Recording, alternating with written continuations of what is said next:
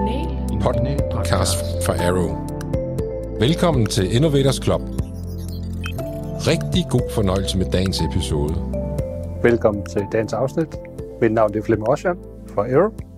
Der har lige været Discover i Las Vegas. Det vil sige uh, rigtig Discover, rigtig, rigtig i fysisk tilstand, også lidt i hybrid. Uh, vi skal i dag tale om lidt om, uh, ja, hvad Discover har handlet om, hvad, hvad der har været fokus på, og hvad der har været lanceret af nye produkter og services. Og til det har jeg inviteret lidt gæster. Ja, det er jo mig, Frank Stott fra HP Europa. Til de nye switcher, der er kommet. og Henrik Fugman fra HP Presale Server, og jeg skal fortælle om alt det andet spændende med de her få undtagelser. som øh, jeg, Thomas Hadorn, tager sig af. Jeg er fra VMware og hopper med på et, øh, et ledet slot. Vi kan starte med at sige, at øh, Discover i år har, hvis man sådan kigger på overskriftniveau, så har der stået GreenLake på rigtig, rigtig mange af de overskrifter, der har været. Øh, jeg tror, hvis man har deltaget eller set nogle af de øh, sessioner, der har været, og man sådan øh, har bare talt, hvor mange gange har der blevet sagt Green Lake, så, kan man, så, så store tal tror jeg man kan tælle til. Det har været vidderligt det fokus, der har været på alt. Hvordan kan vi levere produkter og services via vores Green Lake-portal? Øh, man må lige prøve måske at spole en meter tilbage og så sige, Green startede jo som et program, der hedder, vi kan levere øh, hardware til dig, kære kunde, som en service, og du betaler efter forbrug. Men nu er det jo faktisk ved at, blive et koncept omkring nærmest en sin portal, eller en, en, hvor du siger, der kan du plukke i de tjenester, du måtte have behov for, både øh, HB-drevet cloud-tjenester, men også øh, on-prem, til, altså service, som, som, hvor det står hos dig, eller det, det kan faktisk også ende med at blive tredjeparts software, som også kan købes gennem den samme portal. Så det bliver sådan, næsten ved at være sådan et App Store-koncept. Øh, hvor, så GreenLake flytter sig også lidt. Øh, så vi- skal vi prøve at starte lidt om nogle af de ting, der er kommet, nogle af de ting, der er sket. Det er jo godt. Altså, jeg- du nævner jo selv GreenLake, som sagt, og det er jo en fortsættelse af det, Antonio Nere, vores øverste direktør, var ude og sagde i 2019, at det er i 2022 leverer vi alt det, vi har på hylderne, det kan også serveres som service. Og det kan man sige, det er jo et bekræftelse af de ord, han øh, en uge at sige, det er jo en idé, der bliver bekræftet på, på Discover. Jeg ved ikke, om vi er i mål 100 procent, men vi nærmer os en stormskridt. Og det er jo den transformation af hele øh, IT-branchen som sådan, det er, at vi leverer alt som services, om det ligger i skyen, eller om det ligger on-prem. Jamen, det, det er jo op til dig. Det er jo bare nogle consumption-baserede ydelser, vi leverer ind. Vi kan så sige, jamen, vi bringer clouden til dig. Du behøver ikke at bruge hyperscalerens udstyr, men vi kan tilbyde en masse af de services on-prem hos dig selv, eller colo et andet sted i verden. Men i bund og grund er det jo de samme services, vi går ud og tilbyder i forskellige paketeringer. Og noget, de også er begyndt at tilbyde, det er jo blandt andet management, nogle af de man- management man bruger. Vi har set det på Europa faktisk til at starte med, det var nærmest det første, hvor man kunne manage ens udstyr via en cloud-tjeneste. Så har vi set det på HP Stores platform, øh, hvor vi også har haft det års tid, halvanden måske. Nu har de lige lanceret, hvad hedder det, management-delen til, til polianterne, altså serverne, hvor man så kan sige, drive ens øh, firmware vedligehold og vedligehold af, altså opdateringer af ens platform via en cloud-tjeneste. Ja. Et abonnement, kan man sige. Du får lov at sige navnet. Jeg kan ikke huske det. Det er så langt. Det er HPE GreenLake Compute Cloud Con- Console. Eller COMS Cloud Console. Det er sådan, og det kan næsten ikke gøres længere, vil jeg sige. Så Compute Cloud Console, sådan ja. Blandt venner. Blandt venner, ja. Men, men du kan sige, jamen det er jo igen, når, når folk, folk er jo, har jo ligesom budt ind på, når de kører alle de her øh, hyperscaler, altså Google, AWS, you name it, når, der kører du alt management fra skyen. Vi kan man sige, det giver jo fordel for os, som skal udvikle softwaren, at vi har et sted, vi kan udvikle det ind til. Det vil sige, det er nemmere at vedligeholde, det er nemmere at tilbyde hurtigere services, og det er jo det, folk gerne vil have. Jamen nu gør vi det bare for dem i clouden. Så man kan sige, at vi fjerner også en masse af det besvær med at rende og holde ens egen management-platform opdateret. Har jeg nu lige, og den version, og hvordan hænger det sammen? Jamen det fjerner vi jo helt. Det, det, vi overtager og siger, at det skal vi nok ordne for jer. Vi sørger for alle de integrationer, det er opdateret til det niveau, du nu skal. Du forbruger det bare. Og det, jeg ser det her som en, en start på alle de infrastrukturservices. Nu nævner du selv, at Europa har, har gjort det en del år, men jeg synes også, der er rigtig mange smarte features på, hvorfor skal jeg sidde og kæmpe med at opdatere en platform og lige sørge for det her firma? Så når du, hvis du melder dig ind i de her services, så fortæller den dig selv, hov, for du skal lige opdatere den her. Det, du er lidt bagud. Den her retter en vigtig ting, eller eller andet i den retning. Lidt ligesom på din telefon. Ja. Ja. Øh, den opdaterer din apps uden at spørge, og den spørger lige, skal jeg øvrigt opdatere LOS'et i nat, så kan du lige sige ja, hvis du ikke vil have det, eller sige nej, hvis du vil vente. Eller, men, men ting sker lidt mere af sig selv. Ja, lige præcis. Og, det, og igen, det er jo et værktøj, der er der til at hjælpe slutbrugerne, altså administratorerne. Det er jo ikke for at gøre det mere besværligt, eller de skal ligge søvnløs over, nu er der noget, der gørs automatisk. Nej, som du selv siger, folk er jo vant til konceptuelt at gøre de her ting. Og jeg tror bare, det er den tillidsbarriere, den tillidsgrænse, vi rykker mere og mere i forhold til den måde, vi driver infrastruktur på. Jo, man kan sige, at behovet for at ting er opdateret sikkerhedsmæssigt også, er også steget voldsomt. For, tidligere kunne man sige, at det er, det er stabilt, der rører ikke ved det, og der kører en 5, hvad der er 6 år gammel, og et gammelt OS. Det, alt er godt, det, det kører. Den holdning kan du ikke rigtig tillade dig at have længere. Får Du er nødt, ikke lov til længere. nej, du er nødt til at kunne dokumentere, at du har vedligeholdt, du er nødt til at dokumentere, at du har installet det seneste sikkerhedspatche, for at sige, jeg har faktisk en platform, der er, der er solid. Og det bringer os lidt over til, til dig, Thomas. Nogle af de ting, som vi så så lidt parallelt med Discover, Ja. men nogle, nogle, der kom fra, fra hver annoncering. Ja. ja, altså vi har jo øh, publiceret, eller hvad skal man sige, øh, annonceret det her øh, Project Arctic, som det hed, øh, hvis der er nogen, der kan huske det, øh, som handler om øh, det, der så er kommet til at hedde V4 Plus og VSAN Plus. Øh, og det er jo reelt den samme model, altså det er en consumption-model, den er cloud-baseret. Det gør vi på den måde, fordi at så kan vi consumption styre det. Øhm, og så har man simpelthen mulighed for at køre sit V4 VSAN den vej fra, som en cloud-tjeneste via det, der hedder en cloud console. Øh, og så øh, er du over i den samme model fra vores side af. Så der kan man sige, der går vi jo ind i den samme model, som I gør. Vi ser på, øh, på, på, på Green Lake-modellen. Ikke? Så har vi en model, der stort set matcher det. Øh, og som også er noget, der vil blive udbygget selvfølgelig for vores side af, for vi er jo også på vej væk fra de normale licenser. Vi er jo også over en consumption-based. Men det er også en cloud-model. Øh, og der ligger nogle andre ting omkring øh, automatisering øh, og hvad skal man sige, den måde at have et større øh, automatiseringsflow omkring mange instanser. Altså hvis jeg nu er en global virksomhed, jeg har rigtig mange butikker, Edge, øh, andre ting, øh, så er det et sted, hvor man kan have det helt centralt styret fra. Øh, så det er sådan en, en, en lidt en parallel ting til nogle af de andre ting, vi laver, men det primære fokus er, at det er en subscription-model. Det er det, der er det primære driver for at lave det her, som jeg ser lige nu. Vi ser dem i alle mulige steder i forskellige variationer. Øh, HP lancerer også noget, der hedder øh, HCI Manager. Igen en, en Green Lake HCI Manager, det får nævnt Green Lake igen. Ja. Men, men det er så, igen, hvis man nu har multiple kontorer, multiple instanser af øh, Nimble eller Elektra-platform med nogle server foran, der kører noget VMware, så får du igen en cloud-konsol, du kan gå ind på, du kan deploye nogle nye VM'er, mm. du kan opdatere dem, du kan, du kan endda sige, nu skubber jeg noget jern ud på et- datacenter, sætter noget strøm til, og så ligger der faktisk et, et blueprint, der siger, hvad, hvad, skal, hvad skal jeg deploye af IP-adresser, hvad, så det egentlig bliver autodeployet også. Ja. Øh, og så derfra sige, så, så styrer den det selv, opdaterer, altså om så der har 30 lokationer, kan trykke et sted, opdatere, og så klarer platformen resten. Så den der automatisering af infrastruktur, det, det, er- det er bare kommet for at blive. Det er også noget af det, vi hugger ind i med, med den her Cloud Console. Ja. Altså hele den måde, du reelt set bare kan sende noget blankt jern ud øh, til dit kontor i Fjernøsten, og så koble det op og stort set få det autodeployet og så videre. Altså den, den idé og den måde at consume, hov, nu ligger der så med lige et datacenter derovre, men jeg kan se det, jeg har styr på det, jeg kan opdatere det, og så videre. Så det er en del af, af, af det. Jo, jeg synes jo et eller andet sted, hvis man sådan tænker på, øh, nu laver jeg dybest set selv hardware, så jeg er jo ikke sådan, jeg er jo ikke sådan en vilde foretager for cloud, det skal jeg ikke lægge skjul på.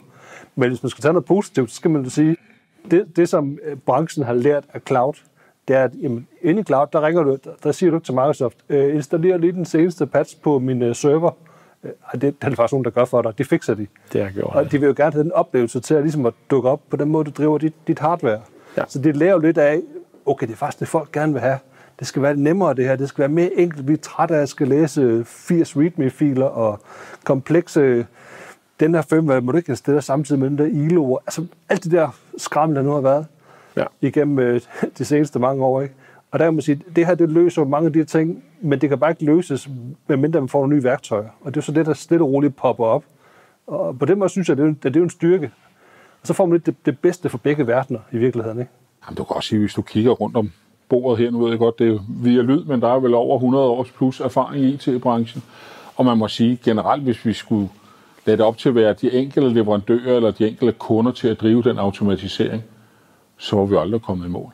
Vi har jo snakket om det i overvis. Det, der man kan sige, det gode ved cloud, som jeg ser det, det er, at de har jo drevet, det er jo deres hele forretningsmodel, det er, at de lever af det hele automatiseret. Vi bliver nu tvunget til at lave catch-up, og det gør, at vi skal til at have innovative løsninger for at konkurrere på det selv samme paradigmer. Og det synes jeg er fedt, fordi hvis vi selv skulle drive, ej, uden konkurrence, det tror jeg sgu ikke på, at vi komme i mål med. Nu bliver vi tvunget til det af gode eller dårlige årsager, men, men ikke desto mindre kommer vi til at se automatisering i stor stil rulle ud over os. Og det her er kun begyndelsen. Det er klart, at man, man er kommet et sted nu, hvor man begynder at, at ligesom gøre grundforskningen færdig, altså API-stakken, øh, vi kan tale med driverne, vi kan tale med, altså alle producenterne begynder at blive enige om, hvordan kan vi egentlig kommunikere omkring en firmware-opdatering, og alt det, nu skal ligesom være på plads for, at det overhovedet kan lade sig gøre. Og det, har jo taget et par sæsoner eller tre ligesom, at komme dertil.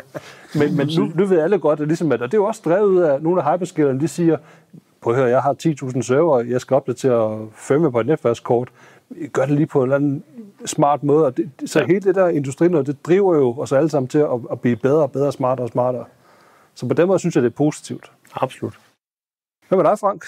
På Europasiden? Noget spændende? Jeg står og tænker på, hvor, hvor fantastisk det er, at, at, øh, at netværket nu også er kommet med i den automatiseringsbølge. Altså det, som HP har annonceret på dels tilbage på Atmosfære, og nu her også på, på Discovery, eller Discover, det, det er jo, at, at, at nu får vi jo faktisk en fuldstændig platform. Nu får vi også netværket med ind altså service. Og, og det, er jo, det er jo ret unikt. Så vi har jo set noget, øh, nogle annonceringer fra HP Europa, hvor man nu kan på consumption-based modeller kan få APR, switcher, gateways i sin infrastruktur. Det, det, det er jo aldrig set før på den her måde. Plus at det er i en og samme platform. Det er jo fuldstændig unikt, og det, og det er jo Altså jeg synes, det er et lille skridt fra netværksverdenen, men det er et kæmpe skridt for vores, for vores forbrugere og vores kunder, at vi nu kan styre og håndtere det her i en og samme platform. Mm. Og det er det, som, som Henrik også var inde på, at øh, vi har været med på, det, på den her udvikling i mange, mange år. Og set det dengang, det i spæde step startede, med at vi kunne begynde at sådan flytte workloads rundt, og nu, nu kan vi flytte på kryds og tværs af, af, af skyer og platforme, og vi kan flytte netværket med nu. Det synes jeg, at man får helt gåse ud af, at man snakker om det, ikke? at vi har fået netværket med nu. Ikke? Det kan vi så sige, Frank har lige nu gås ud med armene. ja, I har også lanceret, altså det er jo noget tid siden, men, men hele jeres CX-familie har jo været jeres grundlag for, altså jeres ja, rejse ja, i forhold til... absolut. Altså, hele, hele CX-familien og vores cloud management platform Central, og nu med, med overbygningen af Aruba Netconductor, er jo det, der gør, at vi kan køre på tværs af policies og, og lokationer, baseret på en cloud-based management platform. Hmm. Og, og det, der, der, der gør det ultraspændende, det er jo, at næste fase, det er, hvor Server Storage kommer med ind i Central. Og så får vi som den eneste producent et managementværktøj til al vores infrastruktur. Og det er jo spot on til det, som vi har brug for inde i, i Green Lake. Fuldstændig. Vi er faktisk også kommet ny hardware. Det er rigtigt. Vi er jo Ja, lidt hardware. Ja, ja, vi skal, lad os lige sætte med det samme. vi er lige kommet med, med en ny datacenter switch. Fordi vi har jo en fuldstærk løsning, så vi har både øh, access-punkter og access switcher og core switcher og datacenter switcher. Det lækre, der er kommet nu, som, som jeg synes, jo som gammel datacentermand, det, det, er sgu, det er sgu lidt cool. Det er en 32 ports 400 gig switch med 12 teraflops. Altså, det, den, er, den kan køre 400 gig på alle porte.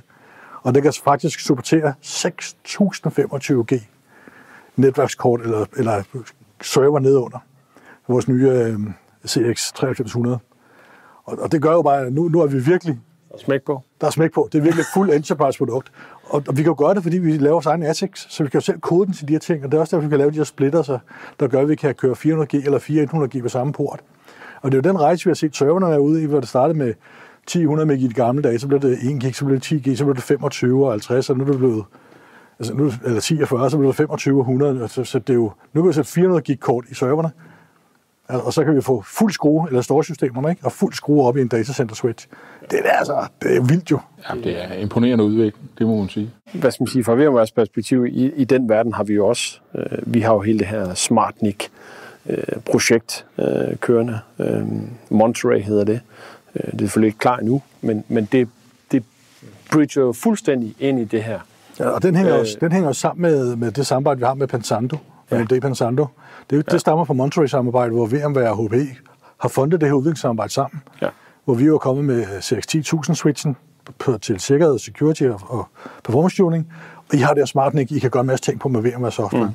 Tingene hænger jo fantastisk sammen. Men så har du jo faktisk, hvis vi går derhen, så har du jo faktisk alt det, vi snakker om i hele datacenterdelen, faktisk fra et smart NIC til hele netværksfabrikket. Og så er der nogle, i godsøjne, undskyld Henrik, mm, dumme server, de der smart NICs, de sidder i. Det er jo faktisk sådan det, det næste. Men det er jo ikke dumt, så vi har bare distribueret vores CPU-knowledge videre til jer. Ja, det er rigtigt. Det fungerer. Ja. Men det er bare, det er bare, det er bare en meget sjov kobling, ikke? fordi det, det bliver faktisk flyttet op i, i, i et fabric. Øh, ja, ja, vi kigger jo også på memory og storage og andre ting på en måde over det her fabric, som gør, at tingene bliver endnu mere flydende. Og så er det jo nærmest bare en stor computer. Jo, jo, men altså, man kan se, som siger, med den enorme udvikling, hvor man kan sige, hvad skal vi bruge alt det her til? Netop det, det laver sådan noget som Projekt Monterey lever op til at sige, hvordan bruger vi alt det her? Mm. Øh, ligesom I, har, I hos VMware har jo mikrosegmentering af øh, fysisk eller PMM og så videre. Ja. Altså igen, hele tiden udnytte de ressourcer mm. på den bedst mulige måde til, altså fordi ellers, det koster også for kunderne at investere. Ja. Og hvis vi ikke kan udnytte det fuldt ud, så kan vi aldrig få drevet den udvikling den vej, vi vil. Så jeg ser kun det her som ultra spændende. Og igen, vi har kun set begyndelsen. Det kommer til at gå stærkt, det her. Ja, så når det bliver en consumption-model, så, så kan du måle det på de parametre, du reelt forbruger. Ja. I sidste ende, ikke? Så kan det godt være, der er et, et overhead sted, men det er ikke noget, du betaler for. Du betaler for det, du bruger. Jeg tror også, det er fint at komme op på modeller, hvor du måler på en, på en anden måde, for det, det med at måle på en socket eller core, eller ligesom, ja. altså hardwareindustrien arbejder ligesom mod den der, altså nu ja. vil sige, der vil godt lide, det er men med mængden af cores går nok kun én vej. Øh, det er i hvert fald bare et forsigtigt gæt. Vi hænger dig op på det. ja, ja. Det tror jeg næsten godt, du kan. Øh, så, så, så et eller andet sted, så, så er det bare noget, som øh, det er ikke nogen, der kan, ligesom kan leve i nogle modeller. Uanset hvad model man nu kan, kan lide, så, så vil det bare altid være en begrænsende faktor, at man hele tiden prøver at, at, at skal navigere det. Så er det måske mere fair, at man så rent faktisk har en model, der, der afregner lidt mere dynamisk efter, hvad ens forbrug rent faktisk er. Der skete faktisk også, når vi laver nu, nye, mange kors. Der er jo kommet en, ny, en lille ny hardware-platform også. Ja, Prolianten har fået en ny baby. RL-server. Øh, og jeg må indrømme, det var virkelig en overraskelse for, for alle. alle. Jeg, jeg har ikke hørt noget som helst om den her overhovedet. Øh, og de har også virkelig gået med kortene tæt til krop. Men vi har annonceret en øh, ny serie omkring ARM-baserede server, som øh, i den her tilfælde er baseret på en Ampere ARM CPU, øh, og annonceret den store model med 128 kerner. Og det er jo sådan, som du selv siger, kerneantal, det bare stiger og stiger. Og man kan sige, at målgruppen er jo ikke, øh, undskyld Tom, VMware eller Windows, og det er jo Linux. Altså til virkelig store forbrugere af, af det her hosting provider og så videre, så videre. Selvfølgelig tror jeg også, at der er en hel del øh, udvikler omkring ARM, som vil, vil, vil kunne bruge det her. Øh, men det er en kraftig sag. En lille 1U-server, og som sagt op med 128 kerner, og Ampere-serien er lidt sådan lidt speciel. Den er specialiseret, den, har ikke, altså, den varierer jo ikke i frekvens. Så når du siger, at du har en 3 GHz CPU, så kører den med speederen i bund hele tiden. Altså, der er ikke så meget pjat. Det er fuld drøm på hele vejen igennem. Ikke? Så det er for, kan man sige, så det er for at sikre ensartet afvikling af din applikationsstack og alle de her featuresæt, hvor både Intel og AMD, de kan jo drosle ned for at lave power consumption, kårene kan stå og stænge i frekvens og sådan noget. Det er der ikke noget af på det her. Det er no bullshit, bare fuldt drømt Men er den så mere strømeffektiv i forhold til, lad os sige, en x86-platform? I forhold, altså, i forhold til den strøm, eller for det strømforbrug, du har, og antallet af øh, kan man sige, instruktioner, beregninger, du kan lave, så er den mere strømeffektiv. Men det kræver også, at du kommer, den, bliver den føde hele tiden. Altså det siger sig selv, når du har en motor, der er fuldt drøm på hele tiden, så skal der altså blive med at kolde øh, kul på motoren. Ikke? Altså, så du skal ikke have noget afviklingstøven i hvert fald øh, eller load-tøvning, øh, inden du føder CPU'en. Så det er altså kunder, der har øh, CPU-hæftige workloads, der rent faktisk kan køre på, på ARM? Man er nok ikke i tvivl om, at det er drevet af high-performance computing et eller andet sted nede under alt det her, hvor der bare skal, der skal ske meget, og du kobler mange af dem sammen. Men igen, jeg synes, det er rart at få en arm tilbage, altså man igen får noget diversity i disse dage på, på, på CPU-markedet også, så det ikke kun er Intel og AMD, men at der kommer ARM-processorer op i forskellige varianter. Jeg synes altså, det, det giver lidt ekstra. Og jeg ved, at kan man sige, uofficielt kigger vi selvfølgelig på andre muligheder, blandt andet kan VMware give være en mulighed for det? Øh, fordi VMware kunne jo uden problemer supportere ARM, ja. hvis man ville den vej. Ja, hvis er smart NIC i serveren, så ja. kan vi styre den vej rundt, så kan du køre native øh, på din arm. Ja. Øh, det skulle jeg mene var en mulighed. Men det er også lidt spændende at se det med, at man er gået fra at måske have en leverandør på CPU-markedet, der mere eller mindre bare havde det marked, ja. til at så havde man to. Nu har vi øh, tre. Jamen, vi har jo altid haft mange CPU-leverandører. Der har bare kun været meget, meget lang tid kun Intel, og AMD har været lidt on-off. Nu er de gudskelov tilbage i on-mode og, og, og har kørt det. Men ellers har der jo været en lang række. Altså nu, Thomas' nye moderselskab har jo også leveret CPU'er før, og, og laver stadigvæk CPU'er. Så, så jeg tror bare, at vi begynder at se en endnu større mængde af diversitet baseret på ARM-processer, der kommer ud. Fordi det giver god mening, og man har, kan man sige, en royalty-fri platform, øh, sådan næsten, men, men, men du kan gøre det billigere, ikke? Jo, så det man sig også krav til kunderne nu, for tidligere har det sådan været, jamen jeg køber en, øh, en ny server, og det er den samme, øh, og det, nu siger jeg bare indtil, det kunne godt være, det var noget andet, men jeg køber den CPU-type pleje. Nu skal man til at sige, jeg skal have en ny server, hvad skal jeg egentlig bruge den til? Hvad for et øh, OS ønsker jeg at køre på den? Og hvad for en CPU er så virkelig den bedste til det workload? Både effektivitetsmæssigt, performancemæssigt. Og så kan man plukke ned for hylden og sige, det skal være den der platform. Og jeg vil også have den det være som service, det kan man selvfølgelig også. Men, men det er lidt mere, mangfoldigheden bliver pludselig en helt anden, og man kan optimere ens workload efter behov. Ja. Og vi kommer måske fra det der, den der universal sav. Den, den saver, men den er altså ikke lige god til, om det den er... store hammer eller en stor hammer, det, det, det, er, det er ikke altid det bedste værktøj. Nu bliver der lidt, lidt flere valgmuligheder, ja, og det, det gør det super interessant. Det er præcis, og man kan sige, med det fokus, vi har på workload, der giver det jo netop mening. Altså fordi, findes der en general purpose CPU, der passer til alt? Ja, det er jo det, både Intel og AMD prøver lidt af. Men jeg tror, de får svært svært ved at holde alle de bolde flyvende.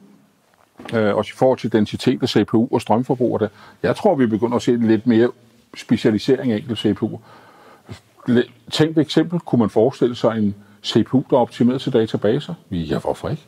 Altså, der er der sikkert visse funktioner, som en, altså en CPU øh, er bedre til at lave rent databasemæssigt end andre, og så ikke behøver at kunne tænke på AI, eller hvad pokker der nu kan være indbygget i den. Men øh, lad os se, det bliver spændende. Men når du nu nævner den her lille baby, så var der også snak om Frontier, Ja, det er lidt den, det store barn. Om ja, man det, det kan man sige. Den kunne jo teoretisk set have været leveret på den her RL. Det er den så ikke, den leverer på standard Apollo-server.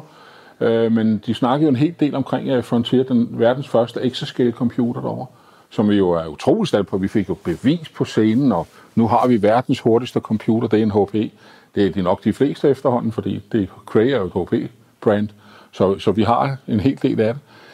Men altså igen, exascale, det er jo sådan en, udregning, sådan en, hvor mange instruktioner per sekund, det er en et-tal med 18 nuller bagved, og sådan, det, det er mange. Og lige, lige for at sætte scenen, den er nummer et. Den er nummer et, Og den er lige så hurtig som top, hvad var det? Top 20. Top 20. Til sammen. Så du tager alle de 19 aldre og lægger sammen, og så er den stadigvæk hurtigere. Hurtigere end dem. Men igen, det, det er også altså, den er bygget på den, kan man sige, den rigtige gamle, traditionelle Cray-platform, og jeg må sige, jeg er stadigvæk imponeret over, at man kan sige, man kan, Cray har det her, når du sætter en Cray-server op i mit datacenter, så påvirker vi ikke de data. Vi afsætter 0 watt i dit datacenter. Så tænker man på sådan en som den her, den bruger 40 megawatt.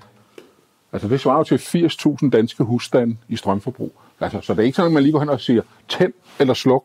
Fordi du skal have dit eget kraftværk ved siden af, så får ja, vi, vi taler om, det var 3-4 af de helt største møller, man kan få fra Vestas. Jamen Vestas har jo lige annonceret deres 15 megawatt vindmøller, som de er jo ved at sætte op, op i prøvecenteret op i det nordjyske. Ikke? Så det svarer til, at du har tre af verdens største vindmøller stå ved siden af, bare for at drive den her ene computer. Det er sådan, hold da op, det er en stor dreng. Ikke? Og det vil jeg også sige, det er jo ikke en, man lige sætter op. Øh, den her, den er baseret på AMD og øh, AMD only, det vil sige CPU, og de har også leveret grafik øh, altså beregningsgrafikprocessoren øh, til det også i deres nye øh, platform. Så jeg synes, det er utroligt spændende. Jeg tror ikke, vi kommer til at se så mange af den her skala i Danmark. Men altså, jeg er da helt sikker på, at alt, hvad der hedder HPC, altså, mm, men det behøver ikke at være stort. Det her er jo det ypperste lige for øjeblikket. Øh, men jeg tror helt sikkert, at den her form for teknologi kommer ned af. Vi kommer til at se flere og flere steder, hvor vi har behov for de her beregningstunge enheder. Og jeg håber bestemt, det kunne være skide sjovt at få på stykker i Danmark. Jo, man, Sådan er det. Man kan sige, det sjove er, at, at nu HP faktisk står tilbage med alle byggeklodserne. Altså Asibuerne leverer ikke, men, men, men netværket, altså Slingshot, det er jo jeres eget udviklet, eget patenter, eget netværkskort, switche, øh, hele Cray-platformen, altså hele kølingsdesignet, igen udviklet. Så I har totalt ejerskab over hele, den, hele arkitekturen. Som du selv siger, storage, netværk, køling, alt er udviklet. Ja. Altså, ja, det er, det er, altså, det er engineering i topklasse, det er der ingen tvivl om. Øh, Og man kan jo se mange af de altså, seneste projekter, der er vundet, det er vundet af Cray vundet af HP. Det, det er den platform, altså faktisk også AMD, de har jo vundet rigtig, rigtig mange her på det seneste. Ikke? Altså, jeg, jeg blev så meget, jeg så en del ved det interview, der var med dem, der nu ejer den her Frontier, og de var jo allerede i gang med at planlægge den næste jo, som skal være 10 gange kraftigere. Hvor man sådan, hold da kæft, de har lige fået sat strøm til den her, ikke? og så allerede så i gang med at planlægge en, der er 10 gange større. Men samtidig, hvis du kigger på den udvikling, der sker i CPU, og altså i hele vores branche, jamen jeg vil gætte på, når de snor om fem år og siger, nu har vi råd til det, så er teknologien skulle nok blevet 10 gange hurtigere. Så ja, men super spændende, det synes jeg. Det var det fede er jo et eller andet sted, mange af de kommuner, det er bygget af, det er faktisk tilgængeligt. Altså, du, du, behøver, du må da gerne købe sådan en, ikke? men du kan godt starte med, øh, lad os sige, Mindre skala. mindre skala, men med de samme grundkomponenter. Men jeg tror lige, sen- jeg, jeg venter lige til, der kommer en lille sænkning i energipriserne igen, inden jeg lige Kan, starter kan, den man, op. kan man få den på Green Lake som subscription? Det, det kunne jeg forestille mig, men, øh, jeg, men øh, jeg, jo. Men jeg ved ikke, så man plejer at skulle have sådan en consumption til og fra. Ja. Jeg tror bare at betale 40 megawatt i strømregning. Hå, jeg tør ikke at tænke tanken. Men nogen skal jo gøre. Så har vi øh, Data Fabric. Ja, nu, nu, nu, nu siger du Data Fabric og tager det ud af kontekst, der hedder Green Lake Data Fabric. ja, det gør det. Uh, fordi Green Lake har, kan man sige, er, jo den nye del i den, at Data Fabric har vi jo haft i en del år. Ja. Uh, man kan sige, det er jo et, øh, et komplekst uh, storage fabric, som er utrolig redundant bygget ind på en Hadoop-motor nedenunder, men hvor vi har bygget over øh, ud på det i forhold til MapR, og det er det, der så nu hedder Data Fabric. Øh, det, der man kan sige, det er jo en Linux-baseret storage-platform. Det er jo øh, software fra en storage det hele, og man kan sige, Linux-baseret storage-platform har det jo bedst med, hvis de driver nogen, der ved, hvad de har med at gøre, altså Linux-fyre. Det, det kræver sgu lidt indsigt. Og igen, for at sikre udbredelse af det her, jamen så synes jeg, det er fornuftigt, at man lægger det under Green Lake-platform. Det vil sige, at vi styrer og administrerer hele platformen for dig, hvis du, du skal bare bruge det. Og det bliver afregnet per terabyte. Så du har alle fordelene ved den her utrolig fleksible data fabric, uden du skal behøve at sætte den i en ny teknologiform. Det kan vi gøre for dig. Og uden vi skal sådan nørde sådan amok i Data Fabric, så må man sige, at en af de ting, som det blandt andet kan levere, det er et globalt single namespace, der kan spænde helt kloden for at se det lige ud. Det siger, du kan, ja, sådan populært sagt, du kan logge ind i din NFS-share i Danmark, lave en LS, og du kan så se fuldstændig den samme, om så du sidder på den anden side af jorden. Og replikering, øh, kryds og tværs, op og ned, ind og ud af private, public clouds. Jeg, jeg kan binde alle mine connectivity. Vi har snakket i dag også om Edge og datacenteret, clouden. Du kan binde det hele sammen og binde det sammen som et stort globalt filsystem. Man skal nok bare tænke sig om og så tænke, jeg skal nok ikke lige vælge den langsomste AWS og så min hurtigste computer den anden, ende, for det er nok den laveste, der bliver den fælles fællesnævner, hvis man sætter replikering på tværs af det hele. Så det fratager ikke helt en at skulle tænke. Nej, nej, men teknologisk, der kan du. Teknologisk kan du gøre det, ja. Og det er rigtigt. Og som jeg, jeg nyder også den her, at man kan have et datacenter Europe, US, Asia Pacific, og så sidder der et eller andet sted, hvor man bare opretter og siger, den her fil, den skal ses alle steder. Så gør den det bare for dig. Det er der ikke ret mange andre systemer, jeg kender til i hvert fald, der, der kan det der. Så, så jo, det er virkelig et unikt produkt, og, og igen, jeg tror, vi får større udbredelse med det med Green Lake. Det er den rigtige platform at komme det ind i. Fordi den snak, jeg har haft med kunder tidligere af det, det er, altså, hvis de ikke er Linux-erfarne, så, så bliver de sådan lidt, ah, ah. Men ja, det, det, det, det kan man sige, nu gør vi det nemt tilgængeligt.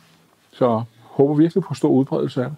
Jo, altså, i mit hoved, der tænker jeg, at det, det er sådan lidt et parløb med, jo, jo folk begynder at adoptere container og Kubernetes, altså, det er sådan, det er der jo, men der er jo mange, de, de kører stadigvæk, altså VM'er. Men ligesom når de begynder, det skift begynder at komme, så kommer behovet måske også for at sige, hvordan kan vi så lave et underliggende filsystem, hvor det passer godt ind i. Og, og der, er jo, der er det jo en af mulighederne. Så jeg tror sådan teknologisk og timingsmæssigt, så, så tror jeg, timing er god. Der er ingen tvivl om, lige nu er det måske de meget, meget, meget store globale virksomheder, der siger, det kan vi bruge, men, men det falder også nedad i stakken. Og så stille og roligt, så bliver det mere, det er der flere og flere, der skal bruge, og så accelererer det. Det gør det, og der er ingen tvivl om, altså videnstunge produkter, som, som det her, som udgangspunkt vel egentlig er, øh, har vi jo svære ved et lille land som Danmark. Altså så mange eksperter kan vi sgu ikke gå ud af vores lille land, uagtet hvor, hvor gode uddannelsesinstitutioner vi har. Så, så igen, det her kan måske gøre, at, at produktet kommer lidt mere ud, og, og jeg er helt sikker på, at vi har rigtig mange use cases, hvor, hvor kunderne vil kunne virkelig drage fordel af produktet. Og jeg ser det specielt i forhold til data, altså den her enorme opsøgning af data og så videre, hvor vi skal have edge til cloud, altså alt det her bragt, bragt nemt og hurtigt ind til den afviklingsmotor, om det er AI eller machine learning, eller hvor, hvad pokker det er, der kan det her virkelig hjælpe os. Virkelig på, på mange forskellige use cases i det område. Super spændende. Vi holder øje med det. Se, hvad... Det gør vi. Det gør vi. Med det så vil jeg sige øh, tak for jeres tid. Tak fordi I gad øh, lige uh, sådan spænde et bord på, hvor, hvad der sker, og hvad, hvad HP de har er kommet med tanker og, og nye ting. Nu, sige, nu har vi talt rigtig meget Green Deck, og der vil også vi også ikke talt om nogle ting, der vi ikke kunne nå at have med, og der er kommet flere tjenester. Og det vil bare blive mere og mere. Så, så hvis nogen har interesse i at sige, kan jeg få det her som service, så råb højt og ræk hånden ud, så er jeg sikker på, at vi kan, vi kan stille op til lidt mere sådan dedikeret øh, snak om, om, hvad behov der måtte være. Øh, men ellers, tak for i dag. Tak for jeres tid. Tak fordi I må komme.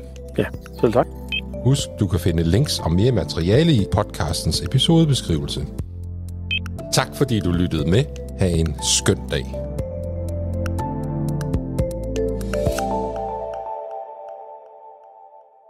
Har du ønsker til en podcast, vi endnu ikke har lavet?